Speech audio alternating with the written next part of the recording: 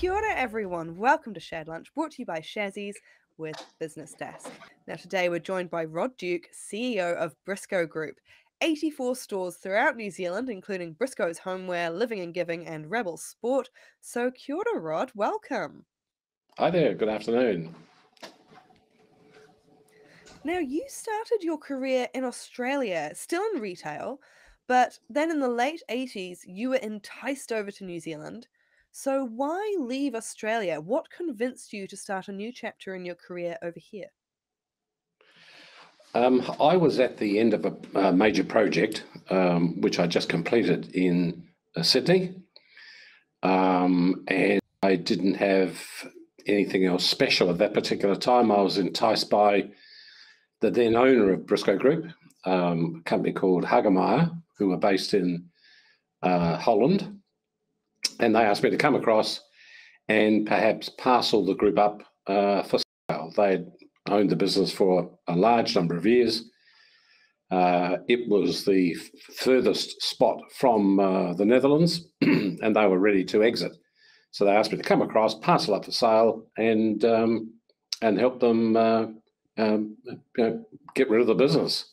Um, as it turned out, I, I came over for an agreed three years to undertake that, and um, then it was going to be fairly it was going to be fairly lucrative if, if I if I made a success of it, and um, um, it turned out to be a little more successful than I thought, and I actually sold the business a year into that three year period to myself, um, and uh, and here I am, some thirty three years later. Well, yeah, I was going to say that that probably was a slight difference in plans there because you, or at least your trust, uh, still majority shareholder in Briscoe Group now, but when you bought in, it cost you just two dollars. Is that right? So talk to me about how that deal came to be, and was it one of those situations where the two dollars was mostly symbolic? Um, yeah, it look it probably it, it was. Um, it actually uh, cost me, I think, realistically, that year's bonus. So I swapped that year's bonus um, for 12 sets of keys um, and uh, three or four million dollars worth of debt. Um, so no, it did cost me a little more, but the two dollars was a symbolic um, share uh, thing because all the shares were at, at something like a dollar, and um, you know I symbolically gave them a dollar or two dollars for the business. But uh, you're right, it, w- it was a little more. But uh, look, why ruin a good story? well, there's an interesting thought process behind that, right? So, you know, you come over and you're tasked with getting this business ready for sale, and you're in charge of the business, and then you decide, you know what, I'm going to truly take charge of this business. It's going to be my business. What was the thought process like, and at what point did that idea start to germinate for you? Um, I arrived in this country in September 1988. Uh, by March 89, uh, I made the decision to sell the business to myself. Um, I had then uh, put the proposition to Hagemeyer. They, in fact, had agreed uh, with the uh, with the sale and purchase, uh, and in fact, it didn't take effect until the 31st of December of that year, which was 1989, because Hagemeyer, being a European company, they, their financial year was a calendar year, and so the deal was struck on the as at the 31st of December to take effect from January the 1st, 1990. So the deal was actually done after what's that, six months uh, but didn't take effect until uh, the end of that year. So effectively, you know, I had committed to buy this business um, within six months of uh, landing in the country. What sort of pressure was that like? Because Briscoe Group actually has a longer history than I think many people realize. It started in the UK, um, from what I've looked up, in 1781, which is incredible, and then has been in New Zealand for over 150 years now. So a lot of history there, uh, quite a big group. Did you feel pressure to step in as a buyer? Um, no, the only pressure that I felt was that if I didn't do it, I might miss out on something special. So there was no there's no pressure for me to do it. I simply had to parcel up at that particular point. They were losing two million dollars a year. I really just had to parcel it up, make it attractive for a potential purchaser, uh, then take a bonus and go back to Sydney. Um, so no, I, did, I didn't have any pressure. The only pressure that I really felt was that if I were to purchase the business, which I did, I would have had to get trading finance from a local bank, um, which I did. And so, sure, I had some big responsibilities, not just to paying off the debt, but also, you know, we employed at that stage hundreds and hundreds of people. And so I had responsibility for a couple of hundred families for their livelihood. So, sure, there was some pressure to do it. But uh, look, I was pretty confident, as were a lot of the folks inside the business at that point in time that it would be successful. It was really just a question of how successful and how long it would take us to uh, to really get the, the company back on its feet and and running fast. Mm. And one of those changes that you brought in, uh, it did take 11 years. 11 years later, 2001, you floated on the New Zealand Stock Exchange. Um, although it's, I think, worth mentioning that you do still yourself control just over three quarters of the shares. So why take it to the stock exchange? What benefits did that bring the company?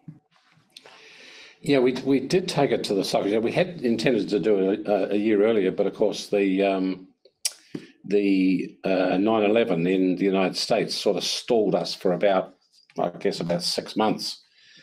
But but why? Look, I've always been keen, as I as I was then, to share the success of the business and therefore some share of the business with the people who build the business, the people inside this company.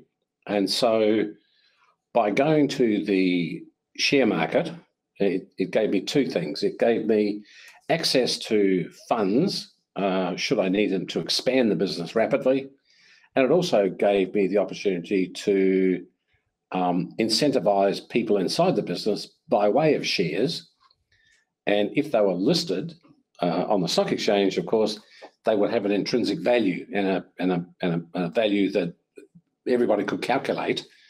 Um, so that they were they were the reasons, and and they look they were valid reasons, and quite frankly, if I had my time over again, I'd, I'd probably do exactly the same.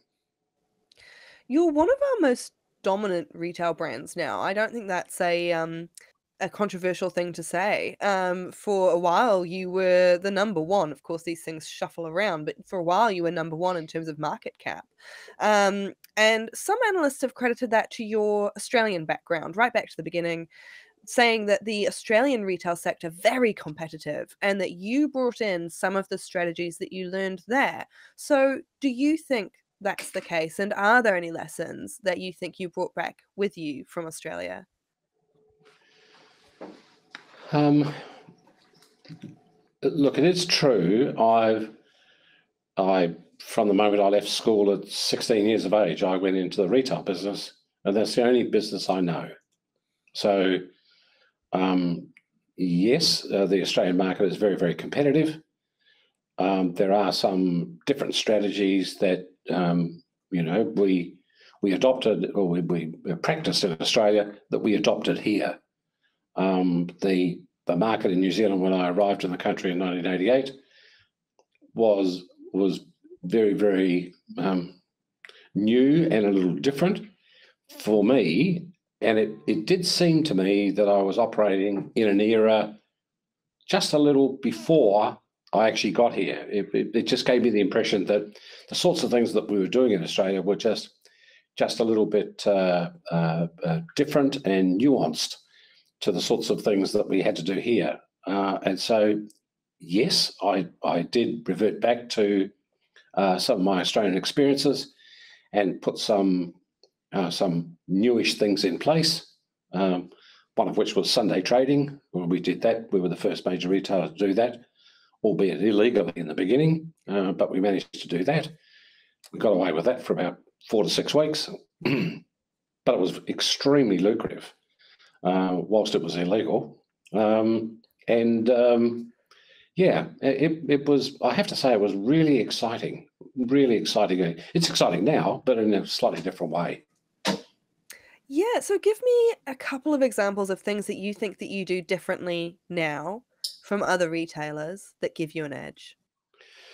Um, well, the one most significant thing I think was was the way in which we pitched the business in or, or the market position we dreamt about having when we sat down in late 1988 and with a small group of people, I said to the guys, uh, so to the to the uh, to the team,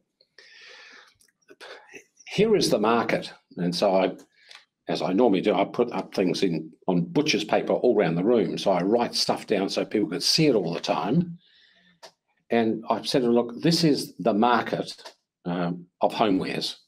It's all the way from department stores to cheap and cheerful um, two dollar shop styled shops, of which there were uh, quite a few at that at that point. Some big names who were just selling the cheapest, poorest quality stuff right up to department stores. And we figured the best market position for us, because I didn't want to compete down at the bottom end, because I just happen to believe that there is always going to be someone else who, who can find something cheaper and scungier than you've got. So I really don't want to compete down there. So I'd much prefer to compete up the food chain, and that is uh, real good quality, but real good price. Because back then in 1988, you could buy pretty good quality, but you couldn't get it at the right price. You know, it was always a very, very high price. And I didn't, as I said, I didn't want to compete down the bottom end because I, I just think it's, it's too, too tough, you know. Mm. So uh, that's the market position we aimed at. So today, um, Briscoes has got brands like uh, all the famous portable appliance brands, the Sunbeams, the Breville's, the Brabantias, the Zips. It's got uh, all the Russell Hobbses and the Kenwoods and the KitchenAids and all those famous brands. We've got uh, Royal Doulton. We've got we've got a host of very very famous international brands. But because I don't pay three hundred dollars a meter in rent in some of the shopping malls, I pay less than half that in the places that I choose to have my shops. You know, it doesn't cost me as much to open the front door as it does some other retailers. So I'm now able to offer very, very, very high quality merchandise, okay, but at a real good price. And I think everyone aspires to do that. You know, rich people still want to buy high quality stuff, you know, even poor people, they want to buy high quality stuff as well. But sometimes it's just too damn expensive to do.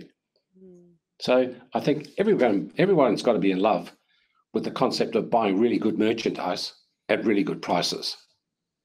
So that that was that was where I was coming from. And you mentioned there about the brands that you've got, a lot of those really familiar, famous brands. And I yeah. think the other thing as well is, you know, when you think about um, your stores, Briscoes, Living and Giving, Rebel Sport, those are also really familiar brands to New Zealanders. And to my mind, that familiarity seems quite key. You've also had, you know, Tammy the Briscoes lady as the face of your stores since 1989, I believe. So, yeah. could you ever get rid of Tammy now? You know, how important is it to have that sense of deep familiarity between your stores and New Zealanders? Um, look, I, I, I can't bear to think of the day in which I can't use Tammy. Um, we we we have a fabulous relationship.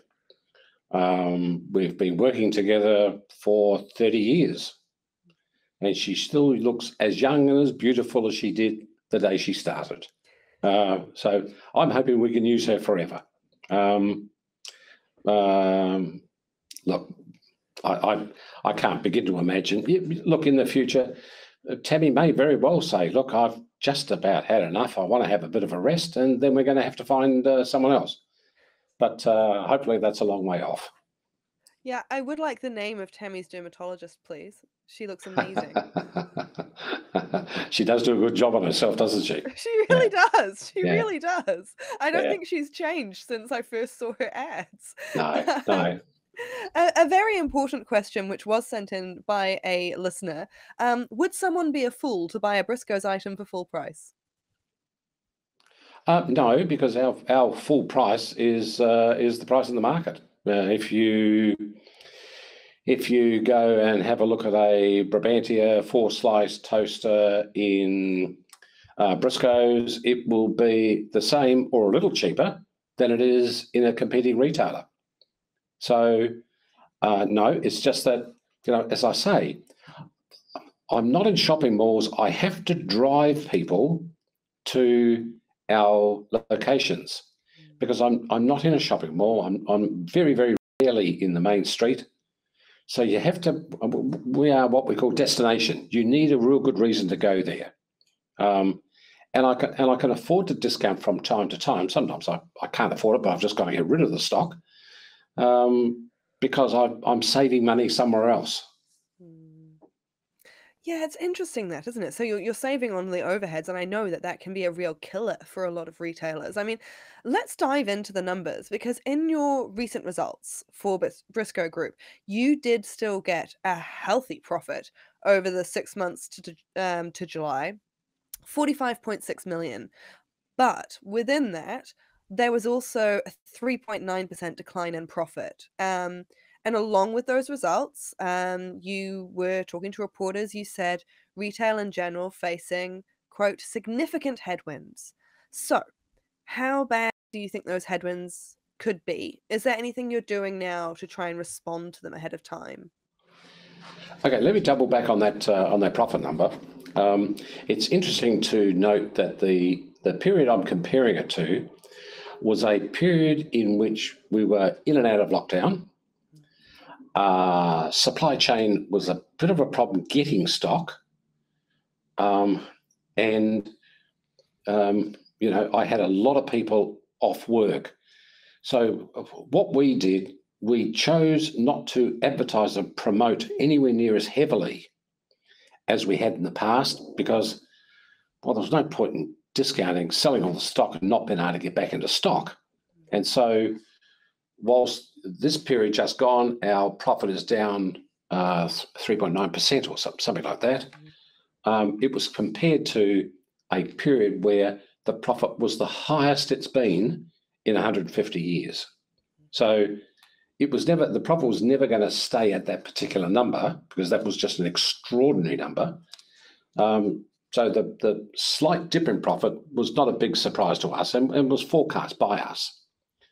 Um, uh, so, uh, what was the second part of your question? Uh, in terms of when you talked about significant headwinds coming for retail, Oh, yeah, what yeah. headwinds do you think are coming? Okay. Um, yes, there will be. Look, look, there'll be the continuation of supply chain. Uh, even today, in some of our ranges, we might have toasters in five colours, but I've only got three colours in stock. There's also uh, we've got uh, uh, uh, salary increases. Had uh, the cost of labour go up significantly. Um, we've got uh, interest rates, uh, housing interest rates. People I've noticed of very very recent times are not feeling quite as wealthy as they did a year ago. Uh, why?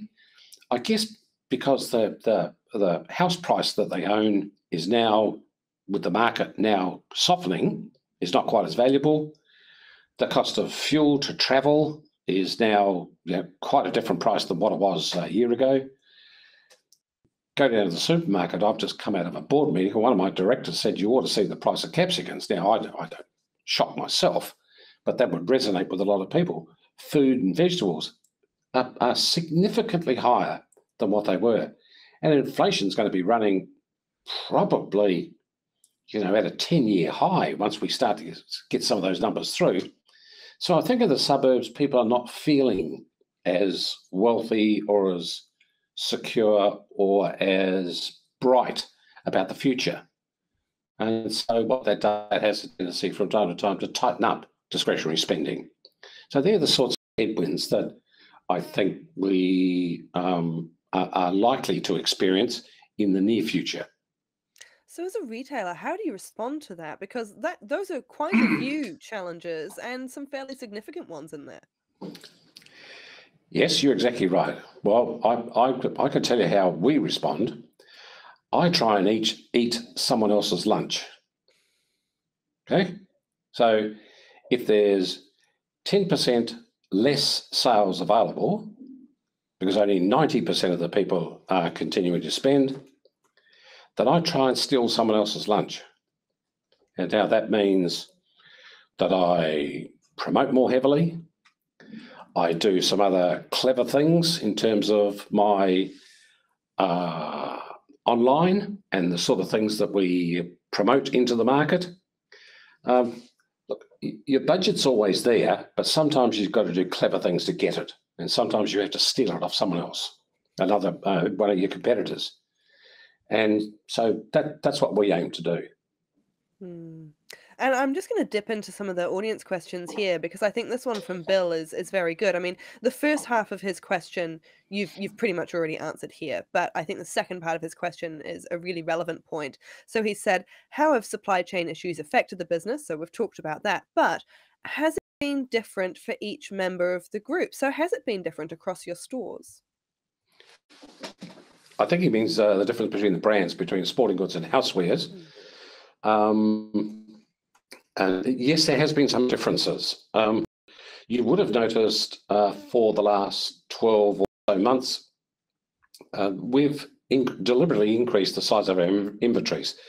We, we uh, foresaw that there would be some supply chain um, uh, difficulties, and we increased our stock by about 12 or 13 million dollars uh, about 12 or 18 months ago.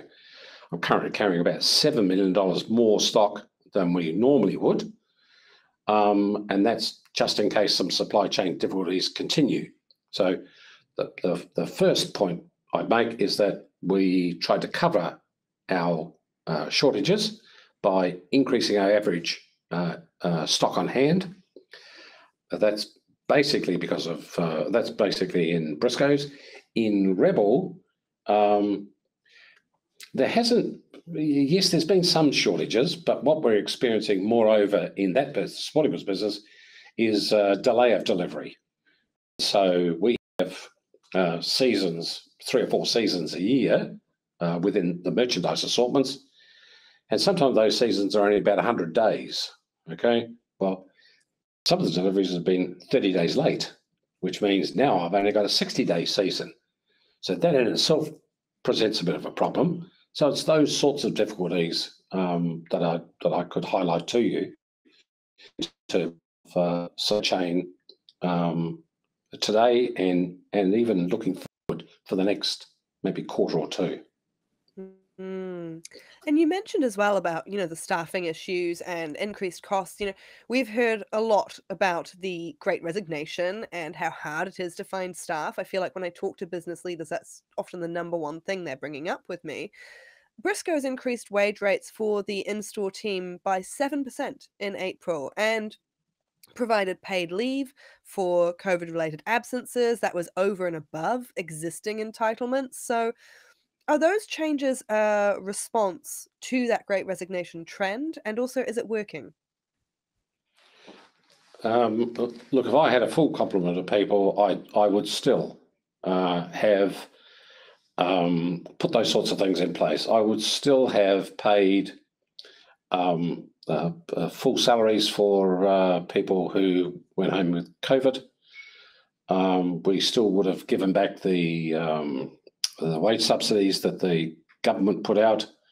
Look, at the end of the day, I feel a real responsibility to look after the families that that that, that work with us in this business. Um, Look, we even cancelled a dividend to shareholders, I don't know, th- three half years ago. You know, I didn't get one telephone call or one email from a shareholder saying to me, You shouldn't have done that. I've been here for six months. I expected a dividend. Why didn't you give me a dividend? You know, not one. So, you know, I get the feeling we're doing the right thing. We're looking after our people. Uh, am I am I short staffed? Yeah, I look. I love the government to, you know, start issuing work visas and these sorts of things because there's a lot of folks who want to work over Christmas, over holidays, and just want some part time work. And like the hospitality business, on a lot of this, I am finding it extremely difficult, you know. And at the end of the day, I want to offer the best service to the customers who come in the shop. And it's, it can sometimes be really hard when the people um, are, are, simply not available. Mm. You know? Yeah, and eh, we're going to have to skip to uh, audience questions now. Um, but so I will say to people, if you haven't dropped your question in, get it in under that ask a question button now because you will run out of time. And also um, upvote the questions that you want to make sure that we ask so that I know which ones to prioritize. But um, last one from me, just before we head into those audience questions. I mean, a lot of people really worried about what will happen with the economy over the next year or so. So do you have any expectations of what you think will happen over the next year? And within that, you know, is there a highlight and maybe a low light? Look, for me, I'm happy to talk about uh, the next uh, six months out to the end of January, which is our financial year. Uh, and we have very, very high expectations. Um, yes, there are some headwinds. There's no question there's some headwinds. But remember, last half year, and that half year uh, for uh, those uh, viewers who don't understand our strange financial year, our financial year ends the end of January. So, which means I started my financial year in August. So, August to January last year, if you recall, Auckland, Northland, and some other geographies were in lockdown. I calculated it out the other day that during that six month period last year, we lost 3,560 store trading days. Okay, so that's the number of stores multiplied by the number of days closed. Okay, that's what we lost. That is a power of uh, of uh, period where I, I simply I couldn't trade except online, and it's you know for some of the regions, your online business for that period was 100% of your sales. So we think this half year that we're in now, that's going to conclude in January, is for us going to be a very, very buoyant period. Okay. Now, beyond that, look, I, I don't know. Analysts have asked me exactly the same. And I've got to say, look, the caveat's got to be COVID. I'm not assuming for a moment that we're going to get another lockdown or another super spreader uh, variant. So, with that aside, um, I think if I can write this year's number next year or a bit more, you know, I think that'll be a pretty good result. We, I've, I've got a terrific board of directors, but they don't like my profit going backwards. So I'm going to be moving heaven and earth, okay, to improve the profit um, and improve the sales, improve the number of stores we've got, the number of people we've got in stores, um, so that that's going to be my target, and uh, everybody inside this business is uh, incentivized on reaching targets. So we're going to be we're going to be going for it. So how do we feel? We're pretty buoyant about it. We we feel pretty good about it. Mm.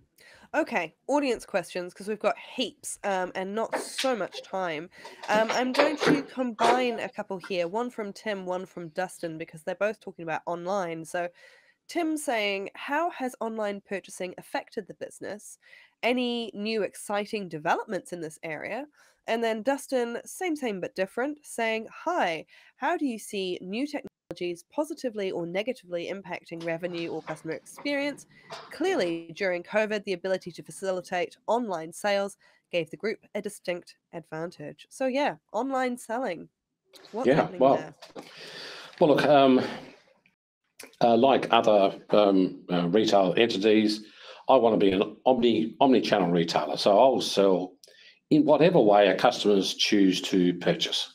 Um, in terms of new technologies, in terms of in terms of online for us, it's we found it's it's all about the the the platform being stable, being innovative, being interesting to be on, easy to purchase from. If you have stock integrity, it's easy to deliver. It's even easy to tell people, I'm sorry, I can't deliver that, that product, and that's fine, you know. But I think it's all about the, the efficiency of it. Our current online business is running at around about 18 to 19% of total, hmm. um, of, of, total sales. Um, is it likely to go beyond that? Well, look, it may very well it may very well go beyond that. Um, but I just don't know at this particular point in time whether 18 or 19% is a little higher because of uh, you know, prior lockdowns or whether it's the new norm. Uh, but the questions are right. Uh, online's here to stay. Those of uh, our customers who hadn't adapted it quickly, I think probably did during lockdown. Uh, I'm sure some of them have had wonderful experiences and will return. Um, some of them will adopt um, click and collect. So, some people, perhaps in some categories, will still choose to go to the store because they want to they want to try it on. They want to have a look at their their uh, uh, dinner set in the light, see see whether or not the color on color they see on screen is actually the real color some of them who buy textiles, bedroom textiles, or bathroom textiles, want to feel it to make sure that it's that it is as soft and as lovely and you know as it as it as it could be. So look, it's going to be a, a bit of both, depending on the category and depending largely on the customer. But look, I'm here to facilitate uh, whatever method a customer wants to purchase. I'm here to facilitate that and to make the experience the most pleasurable experience so that so they come back to me. Do you have any plans in the works for changing, improving, bringing in new online options? Absolutely, yeah, we, and you have to. Um, we're reformatting, uh, planning about the next platform change. You have to. It's it's look. It's a bit a bit like a shop. Hmm. You know, you have to have new exciting stuff, different stuff happening all the time. Experience has to be easier, less seamless. It has to be really, really uncomplicated. And for that, you need technologies. And so, um, you know, if if you're up to the game, not even ahead of the game, then you're planning the next change just before you implement the last change. Mm. So it's it's it's it's a it's a real moving target. Interesting one here from Casey who says, Do you think Costco will impact business? Uh, my business? Yes. Um, I think it'll interrupt uh, businesses, but not not nec- not not necessarily mine to the extent that a, a direct category um, competitor might. I haven't actually been out there, and I don't know precisely what they're going to sell. But as I understand it, if I have a look at the Australian Australian experience, you know, they sell a vast amount of food and a vast amount of uh, petrol and a vast amount of liquor. Okay. Now, outside of that, will they sell a lot of uh, uh, dinner sets and irons and toasters and pillowcases? Uh, look, I suspect not. Okay, but they might. Um, I'll have a better idea in uh, about 10 days' time. Um, uh, but if the ranges are pretty well in line with where they are in Australia, no, no, I don't think they will. Mm. This one from Andrew, I guess, is um, fairly similar there because I, it's it's always about keeping an eye on competitors, right? So, um, from Andrew, what does Rod think Briscoe Group does um, that results in managing to exceed profit versus others that go down? Um, I, I, I look at my costs, the cost of doing business every single day. We are, if I go out and we rent a shop, um, and you run into my landlords, you know, I don't like to overpay for anything. I don't. We we uh, tender for our the electricity. We don't spend any more than 10 cents on rent that I need to. Um, uh, paper, I use both sides of the paper, you know. I, I, am really, really um, enthusiastically uh, uh, enthusiastic about about not spending money unnecessarily. Because if I could do that and I could lessen my expenses, I can also take less margin. Okay, so I don't I don't have to charge more.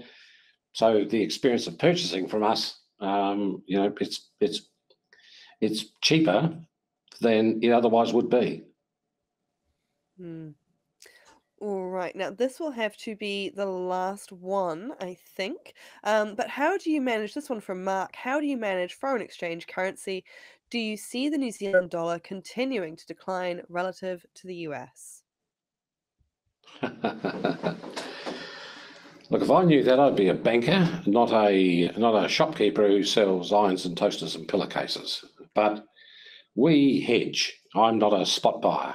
Okay, so I'm hedged out a year or more. Hmm. Um, it scares me that uh, you know I can I can order merchandise to be delivered in two or three months, and um, you know the exchange can move either way. But fortunately, I don't pre-sell, so it doesn't actually cost me anything. Um, and what's my prediction? My prediction is that I don't know, and neither does my bank and neither does my best friend's bank. Uh, I don't think anybody's got a clue where the currency is going. Um, so I hedge, I take no chances, and look, if it comes up heads or tails, I'm fine. You know, I just price and move on because uh, look, at the end of the day, it's it's neutral for me. It doesn't affect me more or less than the next retailer. Mm. So except I, I, as I said, I hedge out, I hedge out a year, so I'm not exposed to any short-term danger. It's fascinating stuff. Well, we will unfortunately have to leave it there. Thank you very much for tuning in, everyone, and of course, a big thank you to you, Rod, for joining us. Really appreciate your time and your insights. Pleasure. All right, now Dan Brunskill back on hosting next week, talking the Kiwi dollar on that note. Uh, so, Kiwibank's chief economist Jarrod Kerr is looking at what's causing our weak currency, what it means for importers, exporters, and investors, whether it's likely to ever get its wings back. So, if you were interested in that last question, do tune in. A link to register for that discussion is in the chat right now. Enjoy the rest of your week, guys. Do stay safe.